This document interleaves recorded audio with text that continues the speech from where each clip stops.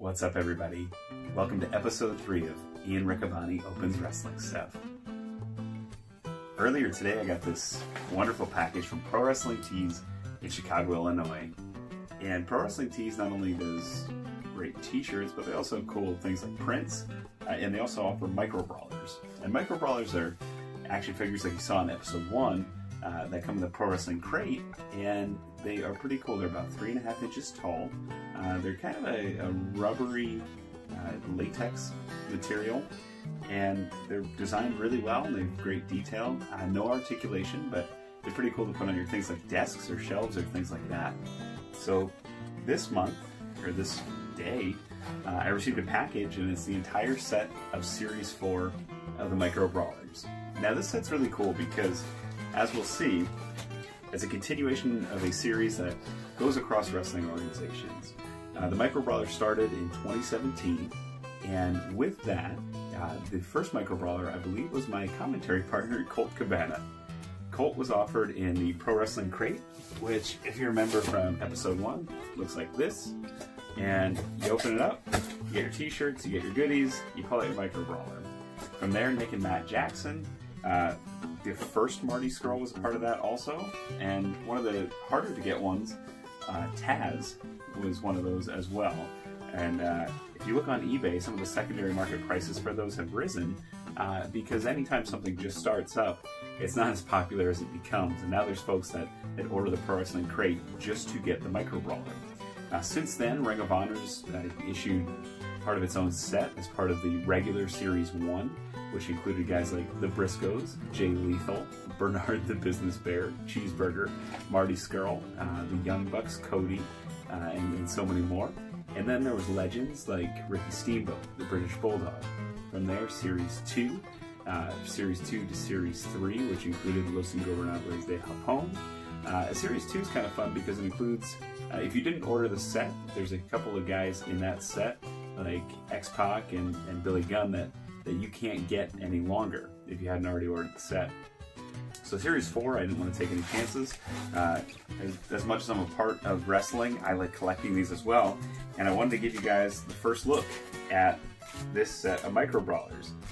Now, this set's really cool because it's a collection of the different organizations in wrestling, primarily, primarily New Japan and Ring of Honor, which is pretty neat. So first, uh, we'll take a look here. The man that walked into Madison Square Garden, the IWGP Junior Heavyweight Champion, Taiji Ishimori.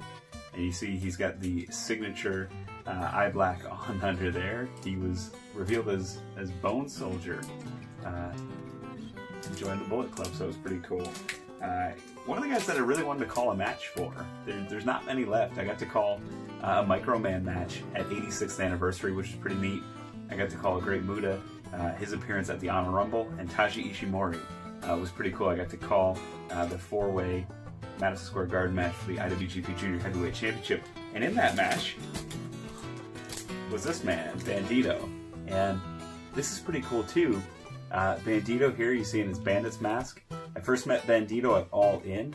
Uh, if you are to believe the rumors, Bandido didn't quite understand the magnitude of All In. He just thought he was being booked for just a nice large event.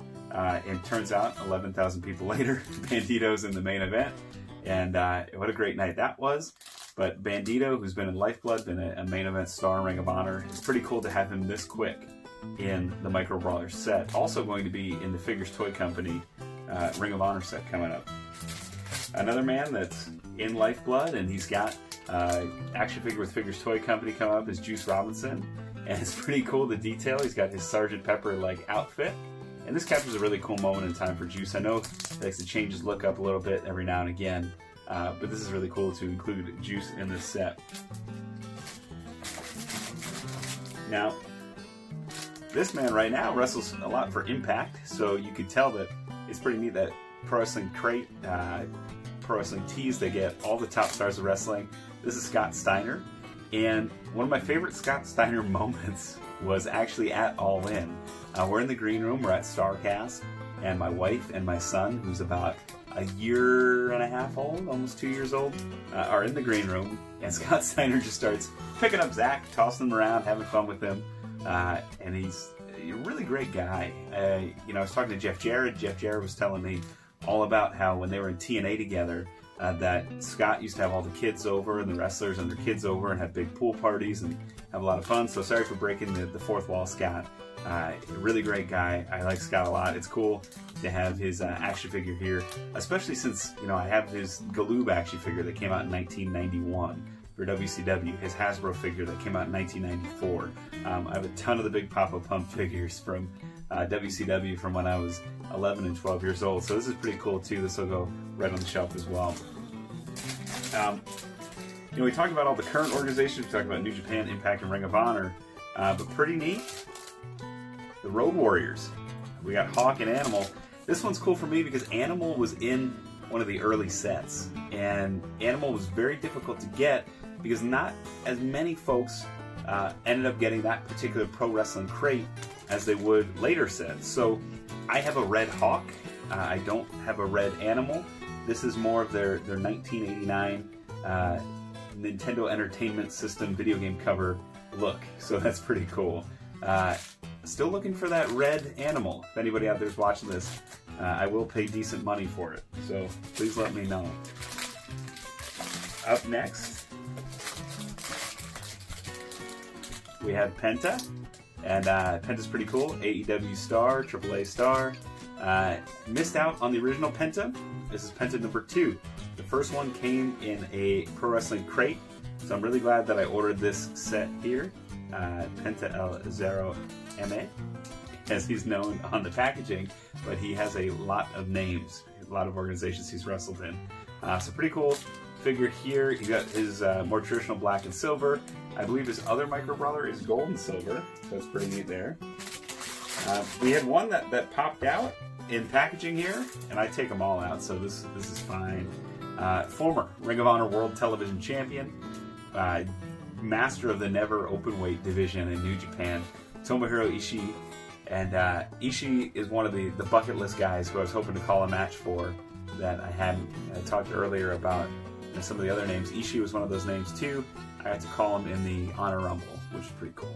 So, Ishii, former World Television Champion, Ring of Honor, former Never Openweight Champ in New Japan. And then finally, uh, the last four have a real Ring of Honor tint to them. Up first, we have a trio that dominated the ROH World Six Man Championships division, and a man that recently climbed the top of the mountain held the Ring of Honor World Championship, was very proud of it, defended it all across the world. With Matt Taven, TK O'Ryan, Vinny Marseglia. And uh, this is a pretty cool set. I, I like when Micro Brawlers does the three packs. We've done a couple of two packs, the Ring of Honor sets with the Briscoes, with the Young Bucks. They come in this, this two pack situation. Uh, first time that I can recall there's been a three pack, so that's been pretty neat.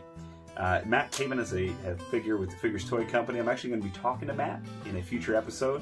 Uh, I have his figure ready to go. I'm going to unbox it with him, talk about what led into this. But this is a more recent attire. This is the attire when he came back at Death Before Dishonor 2018. Uh, same with TK and Vinny. Vinny's got the signature axe. Uh, he is got everything wrapped up, his long hair, his dreads. Uh, and TK, he calls himself the best around. He's got the little horse insignia. Uh, it's pretty neat. It's pretty cool to have these guys. Uh, and TK and Vinny, this is their first action figures, so that's pretty neat for them as well. And then finally, no pasa nada. The new, the current, the reigning and defending Ring of Honor World Champion Rush. He is in this set as well. And Rush, he's got his black and white trunks. Uh, you can make him do the Los Ingobernables fist. He's got some cool bull decals. He has El Toro Blanco, so there you see that and that. And this is pretty neat. As far as I know, this is Rush's first American action figure. Um, it's tough to keep track with what's available in Mexico. There's many bootlegs, there's many official releases as well. But this I know for sure is Rush's official uh, first American action figure before his Figures Toy Company uh, action figure comes out as well. So this is a pretty cool set, and it's got a huge Ring of Honor flavor. You see the Kingdom, see Rush, you got Lifeblood members Juice Robinson and Bandido. So all in all, this is pretty cool. Uh, definitely get a lot of bang for your buck. You get you get a little bit of a cheaper price if you order it by the set, uh, and they only make those sets available at Pro Wrestling Tees for a limited time only, right at the beginning. Uh, so I pre-ordered mine. I got mine right away. I got to pay full price, like the rest of them, like the rest of you guys. And uh, you know, Ryan hooked me up with the first couple of sets, but he couldn't fill in those tough ones. So if anybody has Animal or Taz, the first Animal or Taz, let me know because those are ones I'm still looking for. We're gonna pick a winner. Last time we we talked about we asked folks to tell us who you think will win at the tournament to crown the number one contender at Final Battle. You can comment on this video. I'll be looking at comments on episode two. Your choices Marty Scurll, Jay Lethal, PCO, Dalton Castle. Uh, three of those four guys, they have micro brawlers, and the first PCO figure ever is coming soon from Figures Toy Company in the next couple of months. So until next time, I'm Ian Riccaboni. This has been Ian Riccaboni Opens Wrestling Stuff. Happy wrestling, everybody. We'll see you next time.